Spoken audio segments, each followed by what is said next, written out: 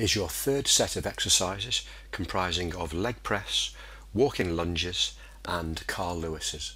Leg press, there'll be various machines in whatever gyms you're working in. Choose a horizontal leg press as you can see in the picture.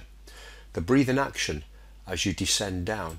Breathe in on the way down, out on the way up. Very important to curl the toes and drive through the heels. Don't quite lock the knees out on this exercise. Breathe in, breathe out. Next exercise, walk in lunges. Nice and upright, chest up. Breathe in on the way down, out on the way up. In on the way down, out on the way up. And the third exercise, Carl Lewis's, onto the knee, place the right foot forward, drive through the heels, very important not to let that heel off the floor. Carl Lewis's.